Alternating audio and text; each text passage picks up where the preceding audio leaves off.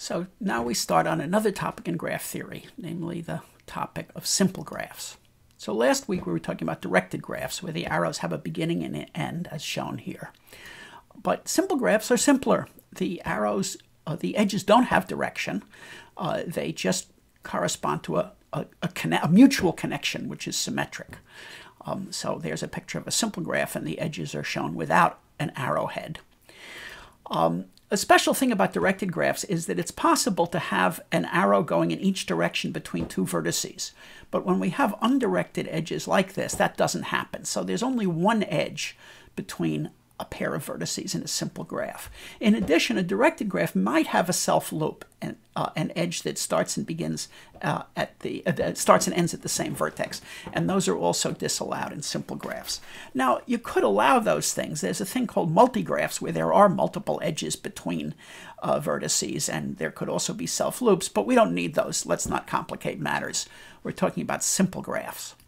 Okay, so the formal definition of a simple graph is that um, it's an object G that has a bunch of parts, namely, um, it has a non-empty set V of vertices, just like directed graphs, and it has a set of E, uh, a set E of edges, but the edges now are somewhat different since they don't have beginnings and ends. An edge just has two endpoints that are in V and we don't distinguish the endpoints. So let's just draw a picture.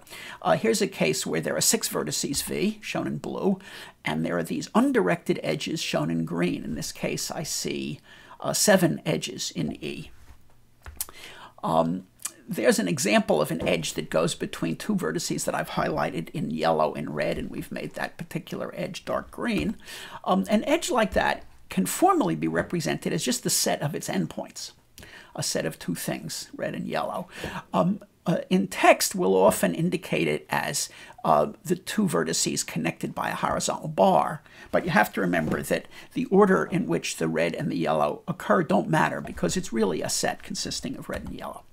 Uh, when two vertices are connected by an edge, they're said to be adjacent, and the edge is said to be incident to its endpoints, just a little vocabulary that we use here.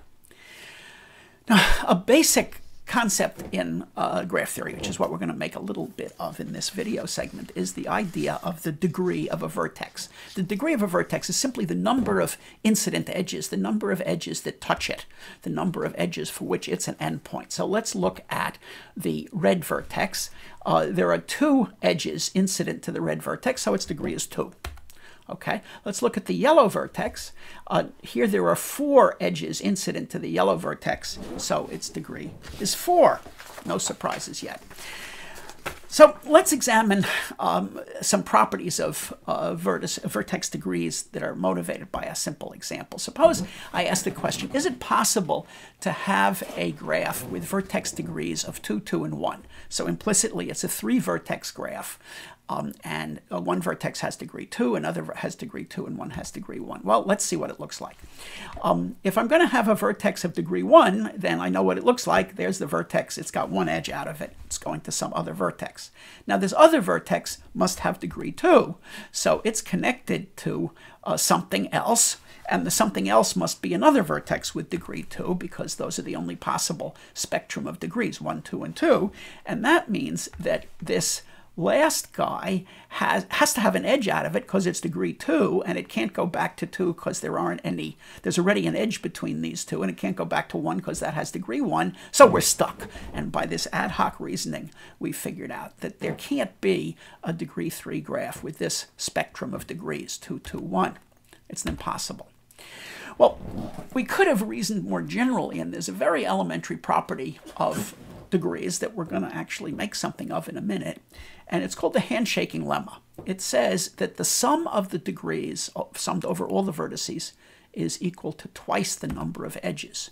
There it is written as a formula. Twice the number of edges, so that's the cardinality symbol. Absolute value of a set means the size of the set. E here is finite. Twice the number of edges is equal to the sum over all the vertices of the degree of the vertices. Why is that true? Well, if you think about it, in the sum on the right, every edge is counted twice, once for each vertex that it's the end of. So we're really just counting, and this is a way of summing up uh, uh, uh, over all of the vertices in which each vertex gets enumerated twice, so the sum is twice the number of vertices. And the proof is kind of trivial. But let's make something of this. You might wonder why it's called the handshaking lemma. Uh, that will emerge in, uh, in some problems that we're going to have you to do. Uh, but let's go on and apply the handshaking lemma in an interesting way. And uh, uh, by the way, of course, since 2 plus 2 plus 1 is odd, we could have, without that ad hoc analysis, figured out that uh, the sum of the degrees can't be odd because it's twice something. All right, so here's the application that's designed to get your attention. It is an application of graph theory to sex. Um, and we ask the question are men more promiscuous than women? And there have been repeated studies that are cited in the notes uh, that show again and again that when they survey collections of men and women and ask them how many uh, sexual partners they have, it's consistently the case that the men are assessed to have 30% more, 75% more, sometimes two and a half times, three times as many partners as the women. And there's got to be something wacky about this. We're going to come up with a very elementary graph theoretic argument that says that this is complete nonsense. Um, by the way, the uh, mo most recent study that we could find was one that's mentioned in the notes in 2007 uh, by uh, the U.S. Department of Health, and the statistician who collected the data knew that the results were impossible, but her job was to report the data, not to explain it or interpret it. And the men reported 30% more partners than the women. And we're going to show that somebody's lying. Here's how we're going to do it. We're going to model uh, the uh, relationships between men and women by having a graph that comes in two parts. It's going to be called a so-called bipartite graph. So there's going to be one set of vertices called M, and another set of vertices called F, M for men and F for women or females. Uh, and uh, we're going to have edges going between men and women, between M's and F's, precisely when they have been involved in a sexual liaison. So, um, uh, looking back at uh, this graph, this edge from that uh, blue M to that orange F indicates that they had had a sexual liaison. They were partners. Okay, so this is a simple graph structure that we can use to represent who got together with whom in any given population of men and women. Now, if you think about the same argument that we used for handshaking, um, if you sum the degrees of the men, you're counting each edge exactly once. And so the sum of the degrees of the men is equal to the number of edges in this graph. And likewise, if you sum over the females, uh, you're counting each edge once. And so the sum of the female degrees is also equal to the number of edges. In particular, the sum over the degrees of the males uh, is equal to the sum over the degrees of the females. Because every time there's a liaison, it involves one male, one female.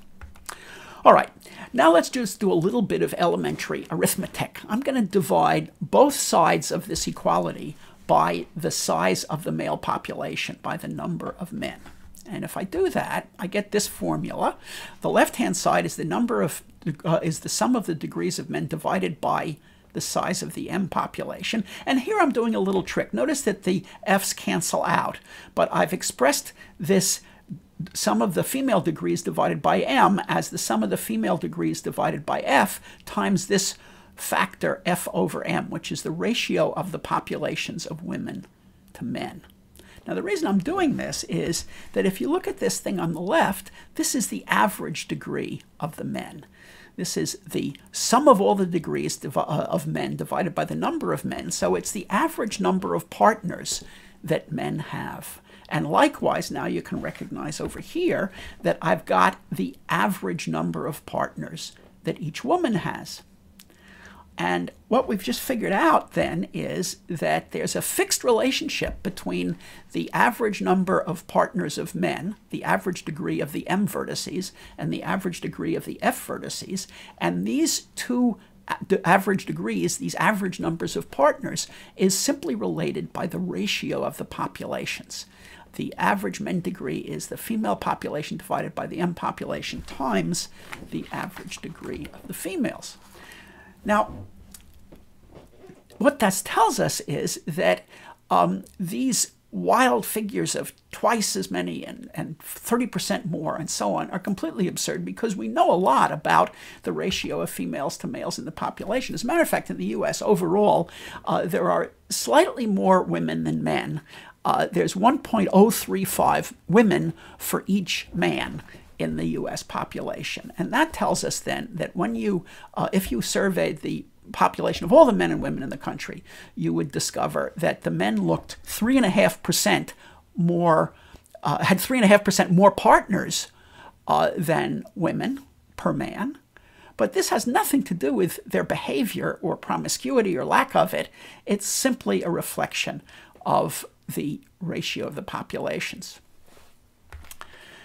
Which gets us to the question of where do these crazy numbers come from? And the answer seems to be that uh, people are lying. Um, one explanation would be that men exaggerate their number of partners and women understate their number of partners. But the truth is that nobody knows exactly why we get these consistently false numbers, but we do get them consistently in one survey after another. You will no longer be fooled by such nonsense.